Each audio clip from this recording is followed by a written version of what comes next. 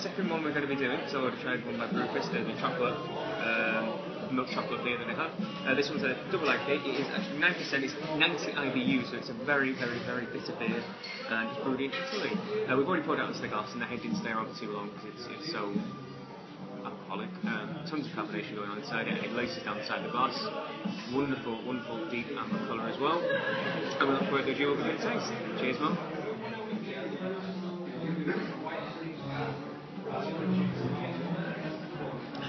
Gosh almighty. It's definitely alcoholic. you can taste that. It's a real, real kind of um, deep burning alcohol kick right in the back of the throat. And over the forefront, it's really a very, very rich, deep malt flavour. The sort of thing you get from a barley wine, it almost borders on that level um, of that really deep, rich malt body, like deep toffee and molasses. And then it's unbelievably bitter. It is phenomenally bitter. The whole entire mouth is completely dried out, but it's counterbalanced quite well with typical citrusy notes. Um, it, it's, it's quite well balanced in that respect, but it's definitely more bitter than it is malty. Um, I haven't done aromas actually. I should probably do them while we're at it. Um, and actually on the nose it smells quite, it smells very malty. Um, hot body's not coming through too much.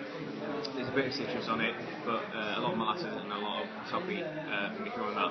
And that'll lead me on to a second review. I'm going to nick my mum's beer. I'm trying another one by the Kernel. No. She, she's driving, so she's having a table beer. So it's 3.3%, um, designed for drinking at the table. It's got, it's a pale ale with Citra and Mosaic hops in it. Mosaic are one of my absolute favourites, and Citra are one of my absolute favourites as well. Again, we've already called this one, but it's come out looking quite like almost like a light lager. Very pale in colour.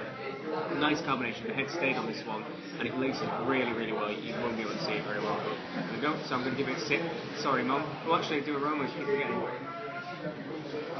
And this one's uh, straight up brewing fruit citrus. So it's mangoey and tropical fruits. Uh, it smells like quite a lot like passion fruit as well. And now I'm going to give it a try. So cheers, mum.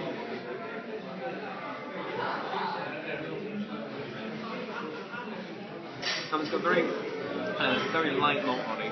It's kind of slightly biscuity. And then the, the vast majority of it is very clean and very subtle and not bitter. Uh, is, is Citra and Mosaic. It's so unbelievably fruity. It's like drinking a tropical fruit juice, which means it's going to be right in my mum's alley. She loves things like that. And I think she'll enjoy that one. So in terms of ratings, um, 2Late, the Imperial IPA. Uh, I like that quite a lot actually. Um, I'd say it's a little bit, probably a little bit too bitter. It needs a tiny bit more hop flavouring in it, so I'll probably give it a nice 8 out of 10, but it's a very strong showing for Brewfist, and I do like it. And the Kernel, who have never made a bad beer in my opinion, um, that one's absolutely lovely. For a low ABV beer, it's, it's going to be really easy drinking, it'll go down like no one's business to be having it. It just tastes like fruit juice with a nice little bit of malt body in the back, uh, nice carbonation in mouthfeel. That one's a 9 out of 10. Um, so two fantastic beers in a really good bar, and I shall see you on the next Beer Reviews.